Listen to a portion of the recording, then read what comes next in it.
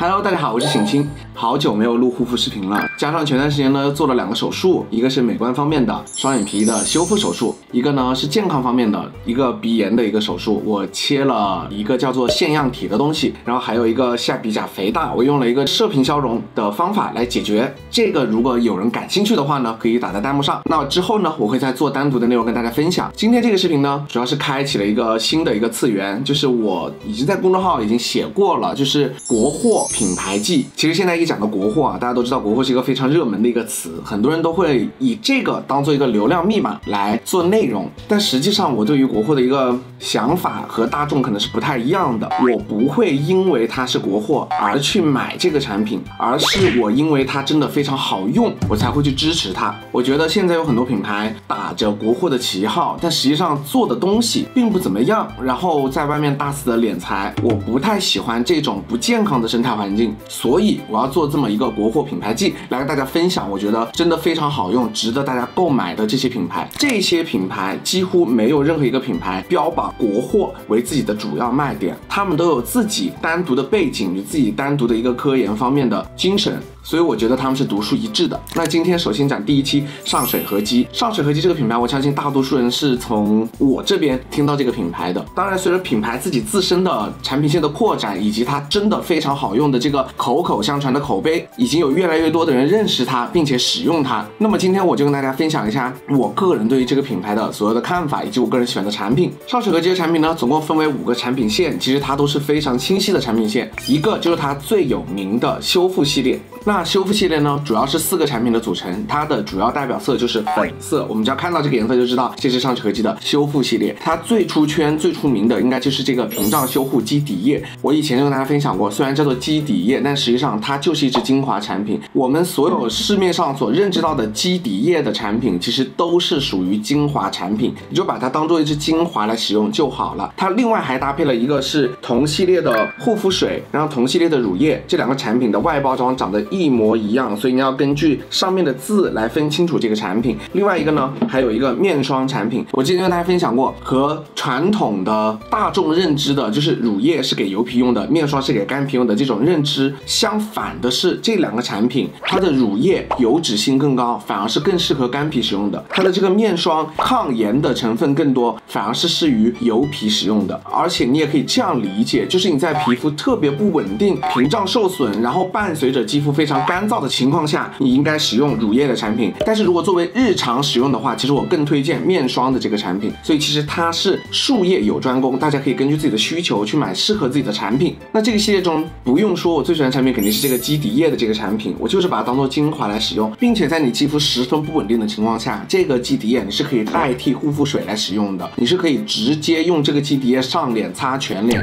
然后它是那种蛋清质地，它完全挥发干透之后，皮肤其实是干爽、哑光、很。舒服的，而且这个基底液我就觉得它是人手一瓶必备。对我来讲，它在我家的存在就像创可贴和感冒药一样，它就是无论如何家里要备有一瓶。在我皮肤觉得不稳定、不舒服的时候，我就会把搜护品停到，我只擦它，然后后面可能擦一个面霜或者擦一个乳液，我就去睡觉。那这样坚持几天，你的皮肤马上就能看到好转。另外一个系列呢是平衡里肌系列，从名字其实就看得出来，它肯定是给油痘皮使用的，所以整个系列的颜色它是用的绿色为主的，很清爽的颜色。这个系列我个人也是非常喜欢，熟悉我的朋友都知道我是一个油痘皮，所以我对于祛痘的产品其实非常有心得。那这个系列的产品，其实在皮肤长痘的各个阶段，它都有能够参与的环节。一个呢就是它的护肤水，其实这个是叫做水杨酸精华液，它虽然叫精华液，但其实它非常清爽，就像水一样，所以我是当做护肤水来使用的，并且它虽然用到的是百分之二的水杨酸，是很高浓度的水杨酸，但是因为它是用的包裹型的水杨酸，这样的的话。它就可以溶于水中，所以整个产品它可以把肤感做得非常的清爽。就算你每天使用当做护肤水来使用，你的皮肤也不会觉得有任何的负担。另外一个呢，就是跟它截然相反的三酸精华，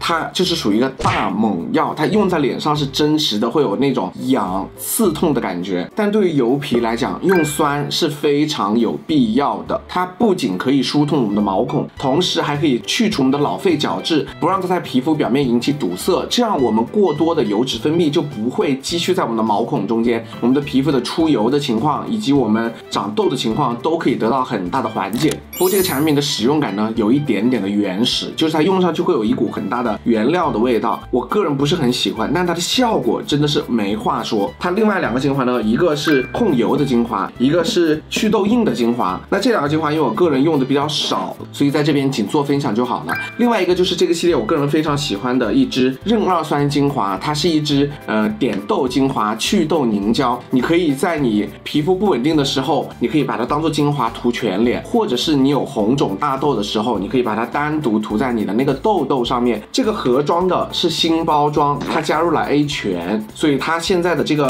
凝胶的状态是稍微有一点点发黄的。按道理加了 A 醛的这个效果应该比老的这个要更好。其实如果你是油痘皮的话，那这个系列的这三个产品我是非常推荐你使使用的。一个是水杨酸精华液，一个是三酸精华，一个是壬二酸祛痘凝胶。另外一个呢，就是我个人非常喜欢的极光系列。极光系列其实就是美白的产品。那这个系列总共有四个产品。那大家都因为知道我个人是不用片状面膜的，所以这个产品呢我就不做分享了。另外几个产品呢，我最喜欢的其实极光先导精华和极光重点精华。以前没有极光先导精华之后，我是最爱重点精华的，因为重点精华它是主打维 C 衍生物。但是不知道为什么这精华在我脸上的效果就真的特别好，它对于黑痘印以及一些浅表性的新生斑点是有非常好的效果的。它用上来你的感觉就是脸上变得非常的干净。而且也是因为这个产品让我和品牌结缘，我用了以后就非常的喜欢，我就跟品牌说，我真的个人很喜欢这个精华。后来品牌就陪我发疯，因为他知道我的一个个人的使用准则就是所有的精华产品都要大量的使用，并且这个极光重点精华它甚至属于精华乳的质地，所以我都是把它当乳液擦全脸，我的用量就比较大。品牌当时就给我寄来了一个一升装，从流水线上直接给我接的一升装的包装。记得当时我拿了一个这么大的一个白色的瓶子，然后我就把它挤在无。无印良品的那种压泵瓶的分装瓶里面使用，我那一瓶都被我个人用完了。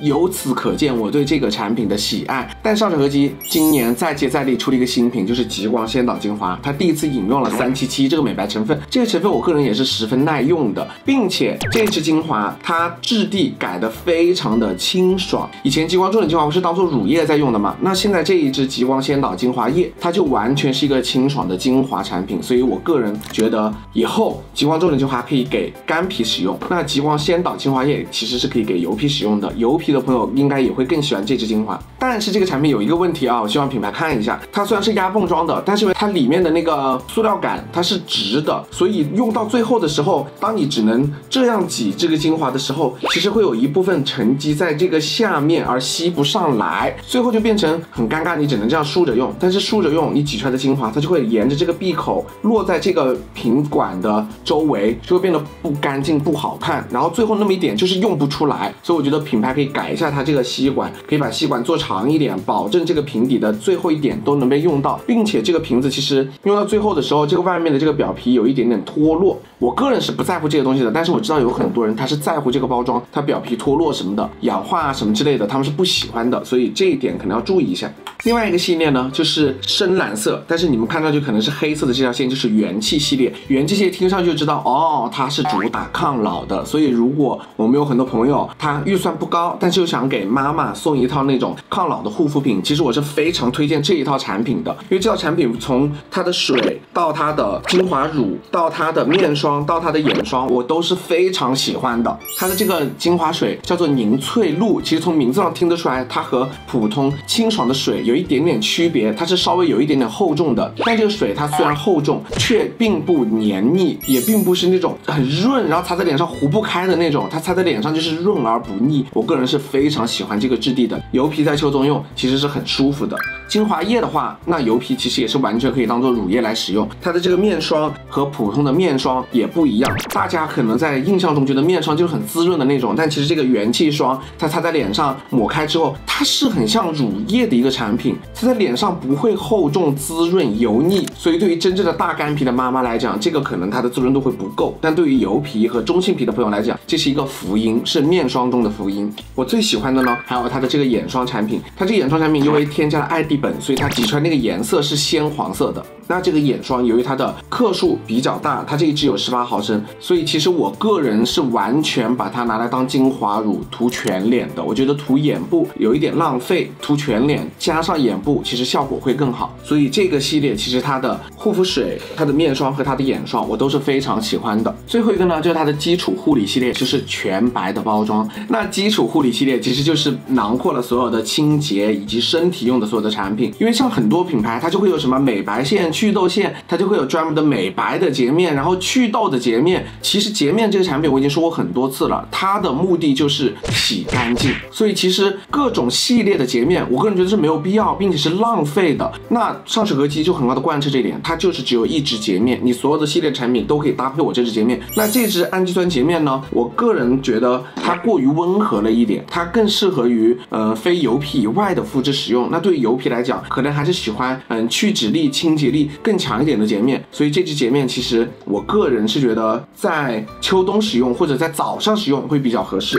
另外一个呢，就是它的卸妆水的产品，那卸妆水的产品也是属于便宜大碗，因为它经常买二送一。我以前不是很推荐卡尼尔的那个卸妆水，是因为它便宜嘛？那其实算下来，上水合肌这个卸妆水也同样可以做到很便宜，并且它和卡尼尔还有点不一样，卡尼尔容易辣眼睛，那这个卸妆水非常的温和，所以其实我觉得这香水可以作为卡尼尔的一个很好的替代品，并且你也不用再去很费心。的找漠河的俄罗斯代购去买卡尼尔了，你这样买上水合集的这个不是更方便吗？另外一个呢，就是它的蜂胶洗发水。那蜂胶洗发水，我个人用下来就觉得，呃，它的泡沫很多，很细腻，洗出来头发也是很干净的。但是它油得很快，所以如果你本身头发是属于非常干燥的人，那你用这个洗发水会比较合适。像我这种皮肤本身也油，头皮也比较油，头发也容易油的人，我是每天都要洗的人。其实我觉得我直接用普通的去脂力比较强的洁面洗。比这个洗发水来洗的来说要更舒服一点。另外两个呢，就是它成套的，就是它的三酸的沐浴露和三酸的身体乳。那这两个产品其实也可以把它算在是那个三酸精华祛痘系列那一个系列的。那这两个产品是我个人也是很喜欢的。这个三酸沐浴露也是呃配合沐浴球，它可以搓非常多丰富的细密的泡沫，然后你用来洗背上的痘痘，然后还有像手臂上这种鸡皮肤啊，其他效果都是很好的。然后它的这个三酸身体乳，它的老板。是非常强的，杀伤力很强的那种。你用来擦你的那种鸡皮肤和你背部的痘痘的话，效果是非常好的。但是因为你擦它鸡皮肤这个地方，它刚开始会非常干燥，会脱皮，然后你会非常的痒，所以有很多人受不了，觉得它太强了。就到品牌去投诉，我真的服了你们啊！你们就真的只适合用那种开价的那种便宜大碗的那种身体乳，没什么功效的，给你在身体乳里面加那么一丁点酸，然后又跟你跟说这是果酸身体乳，然后擦了一瓶你也没有什么感觉。好不容易有这种很强的身体乳，结果就被别人投诉，然后他现在就改版本，改成这种很温和的新版。大家可以看到这个塑封我都还没有拆，因为我还有几瓶老版的在用，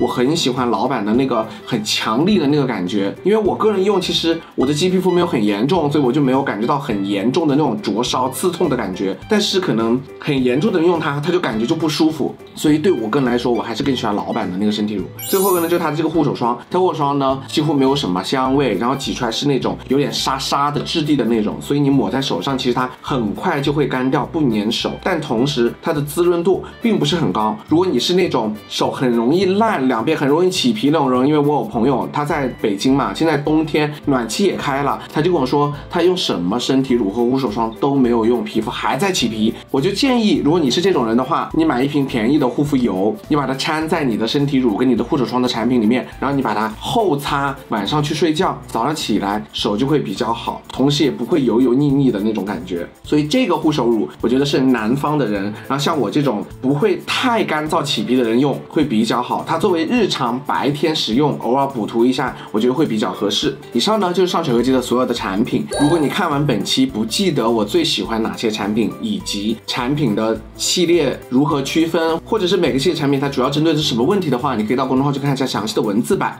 点公众号的菜单下面有一个国货品牌记，你直接点那个栏目，里面就有我所有写过的文章。我们下期视频再见了，拜拜。